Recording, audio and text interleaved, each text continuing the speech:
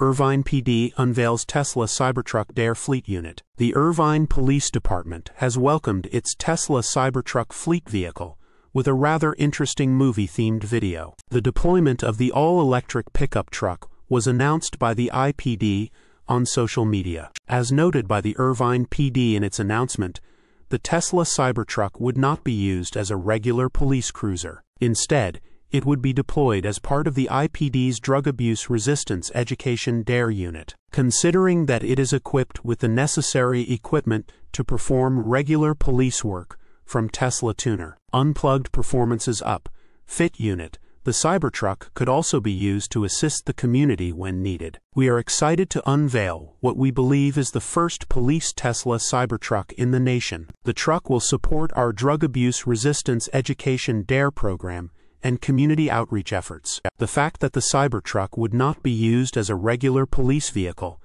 seems almost unfortunate, as photos shared of the vehicle reveal that the all-electric pickup truck has been fully fitted by up. Fit with all the necessary equipment for police work, the Cybertruck space, performance, stainless steel body, and large battery pack also make it quite ideal for police activities. In its social media announcement, the Irvine PD noted that the Cybertruck is the latest vehicle in its long line of eye-catching fleet units that have been used for the DARE program. As noted by the IPD, Vehicles like the Cybertruck could go a long way towards starting positive conversations and promoting community interactions. The future has arrived. Today marks the beginning of a new chapter. While the fully equipped vehicle won't be used as a patrol car, it can respond to emergencies and assist the community when needed. For over three decades, our DARE officers have driven attention grabbing and one of a kind vehicles that never fail to turn heads and excite students. IPD believes in the continual education of students